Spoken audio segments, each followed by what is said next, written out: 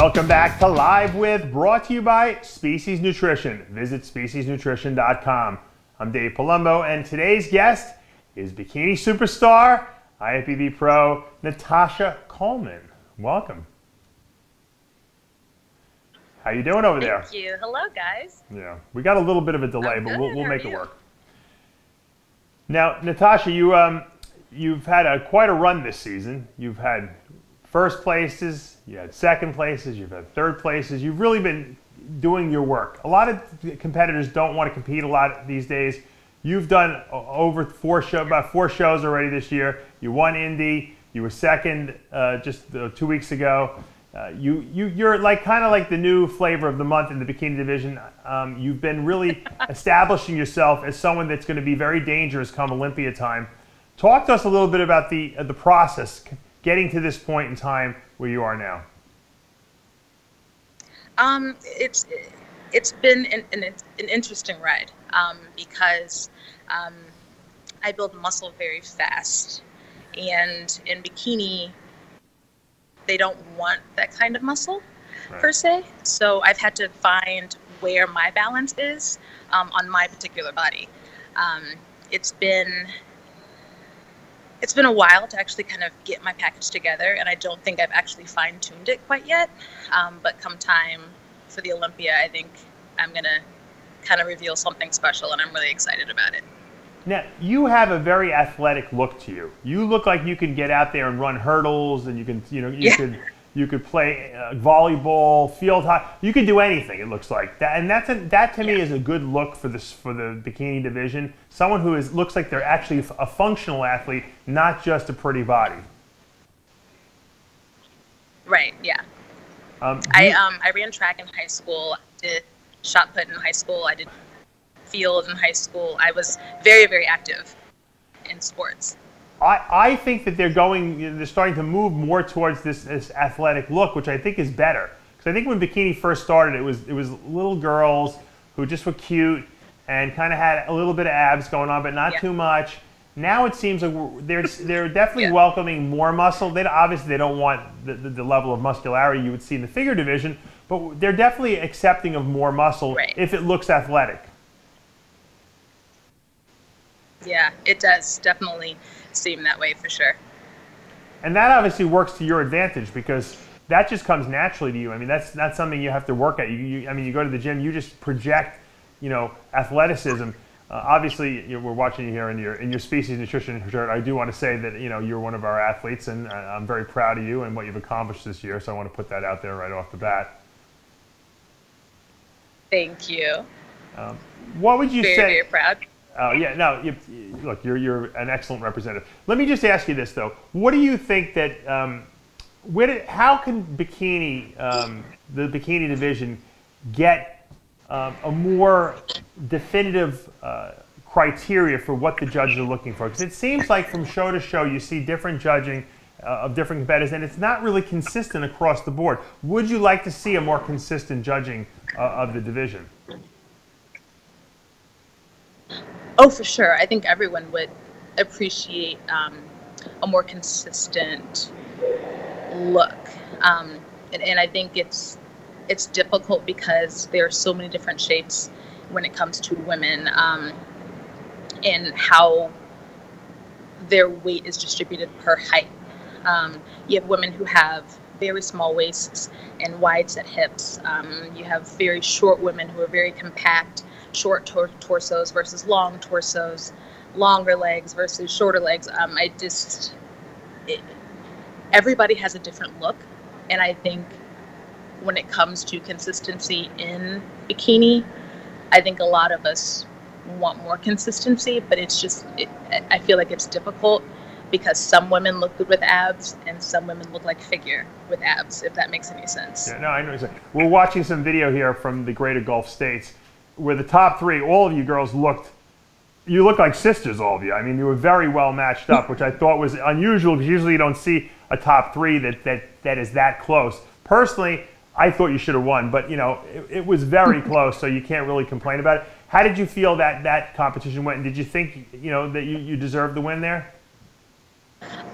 You know, that show was really stacked. I think we all come to win. Obviously, you know we don't diet and train and do cardio for second, um, and anyone who does shouldn't be in the sport. I think we all have a certain level of, of confidence, and I think that all kind of exudes on stage. I definitely feel out of the three, I feel like I was the most balanced, um, but I was also the most soft, if that makes any sense. Uh, Marcia was a little harder. Uh, she has a very tight waist. She's a very good competitor. She's been consistent for this year for sure. I mean, she's won three consecutive shows right. back to back to back. So, um, you know, I obviously I came to win. I wanted to win for sure, definitely. Now, Just didn't work out that way. Yeah. Now you you oh you know it's interesting the way the bikini division works this year. A lot of people don't realize this. Just winning a show is not enough to qualify you for the Olympia because there's so many bikini events. They've made a new point system that obviously if you get a win, you get a lot more points than if you get second, third, fourth, or fifth. But you still have, you know, winning one show might not qualify you for the Olympia, and that's why a lot of people might want to be wondering why you're doing a lot of these shows.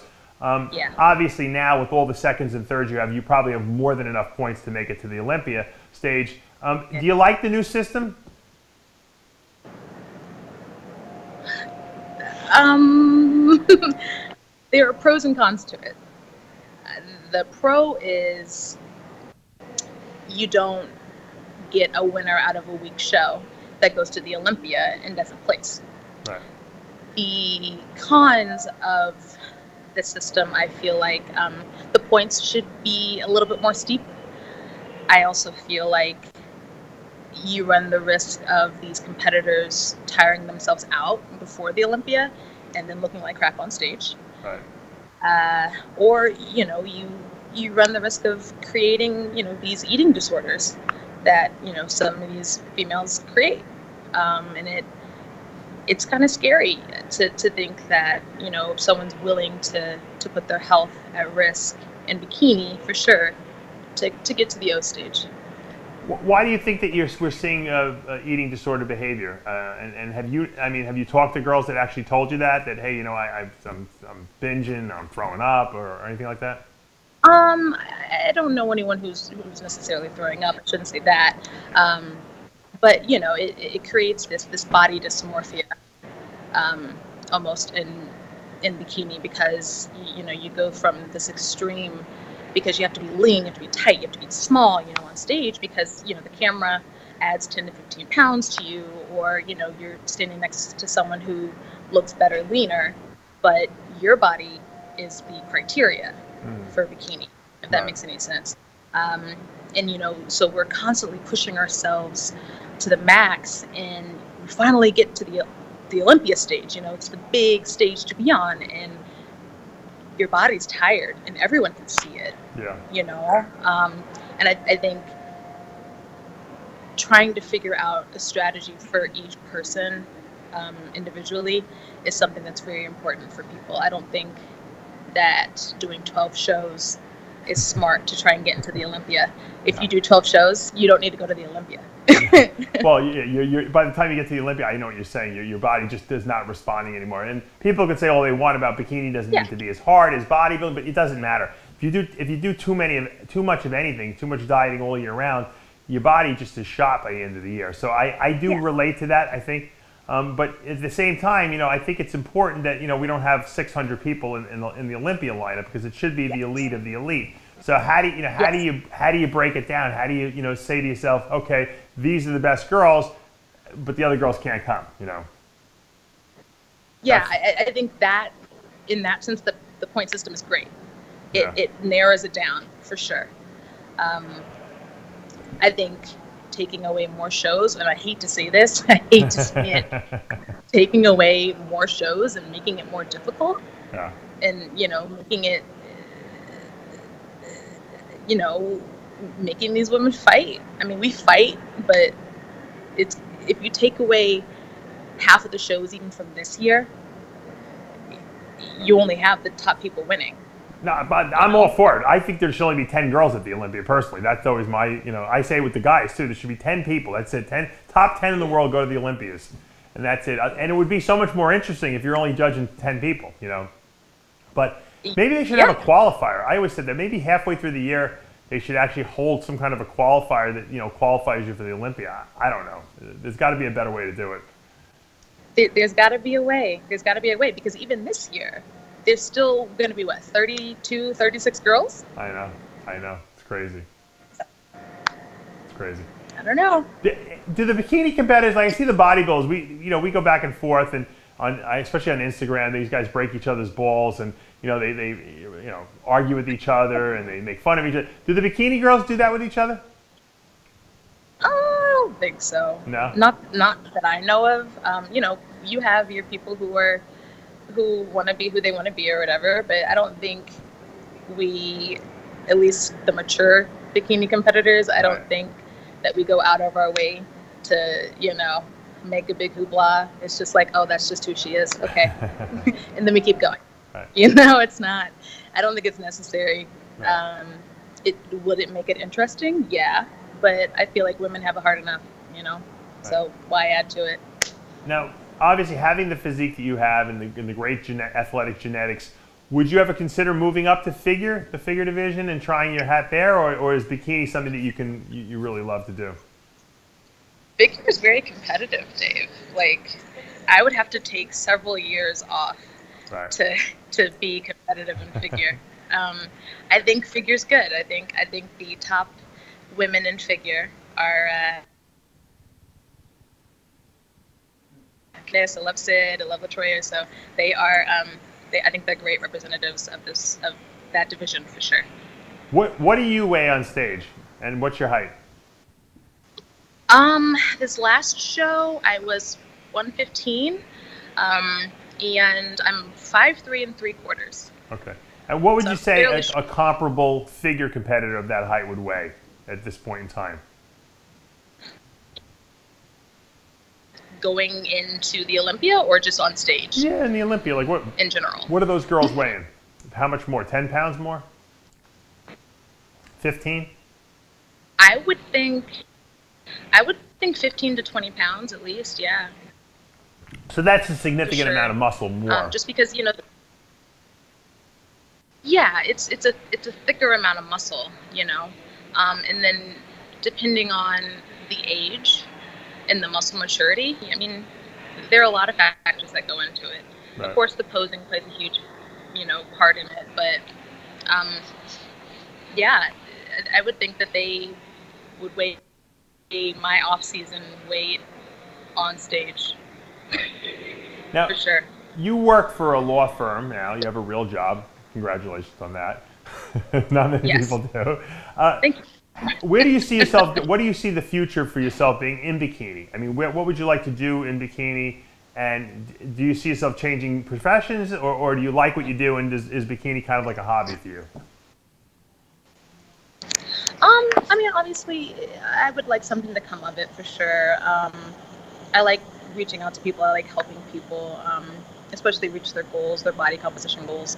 Um, I like inspiring people to do better, um, or at least to make healthier decisions. And not like that's saving lives or anything. Um, but I would, I would love to be able to travel the world and represent a company, and you know, just be interactive with, with people who kind of want to do the same thing that I do. If that makes any sense. Did, I mean? did you have you struggled with eating uh, disordered behavior in the past? Not eating disorder per se. Um, I I didn't have a healthy relationship with food. Um, uh, before I even got into bodybuilding, you know, they they sell, you know, what was it? The the big thing ten years ago, the hy- hydroxycut was it? Yeah. Um, so yeah, I, I was young, I was dumb. You know, I would pop those pills or whatever and not eat. Then I would drink on the weekends. You know, so it was just a very unhealthy relationship with food. Um, I, I never had a, a disorder per se, but it was always you know eat less, eat less, eat less, and do more cardio. And now it's sort of just flipped um, with this whole bikini competition and you know competing and things like that. And i have such a healthier relationship with food. Um, and you know it's it's it's been great for me. But for some people it it it isn't great for them. You Yeah, know, no, I know what you're saying the because mental has to be there. Sure. Sure. Because I, I know when I was a long distance runner, I had a terrible relationship with food because I would starve myself because I wanted to lose weight because you know you're, you're lighter, you run faster. And when I actually got to bodybuilding, it actually cured it because you're right, bodybuilding is the opposite. It's like you have to eat five, six times a day and you can't miss meals. And all of a sudden I wasn't starved anymore. And so it took the edge off and I actually and I actually looked better, obviously, when I was eating Yeah. the right foods and I was eating more frequently. So the the whole competition, you know, bikini figure, whatever you want to call it, the whatever division you're interested in, really does help eating disordered behavior because it's so structured and you're not really limiting the food you're eating that I think it, it, it actually makes it healthier. Now, obviously, the, the contest dieting can get a little crazy, but the rest of the year, it, Yeah. you have to admit, it is a much more healthy way of, of thinking about food. Oh, for sure. Oh, 100%. I, I feel that way. 100%. Yeah. Now you obviously you also use uh, a lot of supplements. You know, you use our whole species nutrition line of products. You, you represent us. Uh, how important is it to you to incorporate nutritional supplements and some and protein powders stuff like that into your regimen? How does that work? Is it is it is it an important add-on for you, or um, do you like to stick to main foods? What, what's your what's your philosophy on that? Um, I obviously I'm gonna want more food, um, but I do I do take a multi. I do um, especially when I'm transitioning from off season into my prep. I take um, Lipolyze for sure, just because it helps kind of curve the hunger a little bit. Sure. Um, and it, and it gives me it gives me just kind of that that head start, if that makes any sense. Yeah.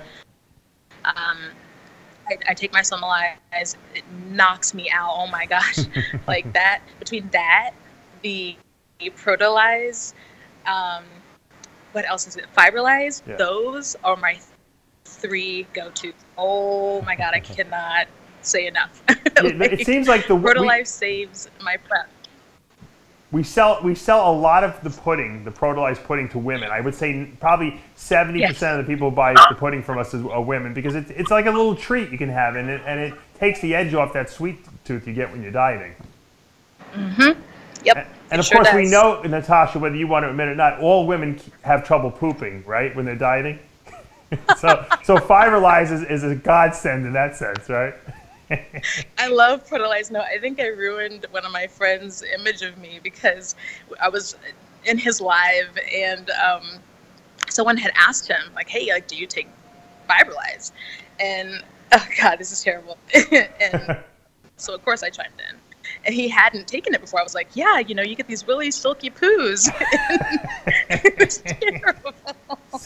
But He's like, but stop. It is true though. You you know you're a woman. W- women cannot go to the bathroom. I know. I work with a lot of women. A lot of them get constipated. The guys do too, but I'm saying women more so, probably because women's colons are not as strong.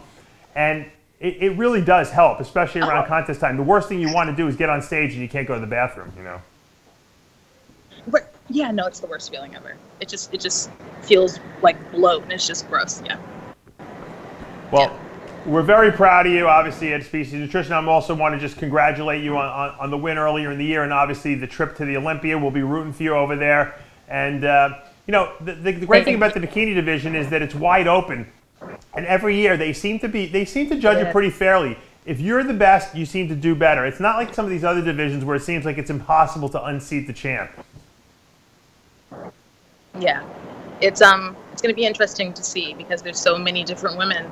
There's so many gorgeous women in the Olympia this year um, that qualified last year and that have enough points this year. So it's gonna be it's gonna be interesting to see. Well, good luck up on out. that stage, and I'll let you get back to work. I know you're uh, you're doing this on your lunch hour, so we appreciate you taking time out of your schedule. Of course, thank you for having me, Dave. Absolutely. All right, and that's going to take us to the end of another episode of Live with, brought to you by Species Nutrition. Visit speciesnutrition.com. I'm Dave Palumbo. We'll see you next time.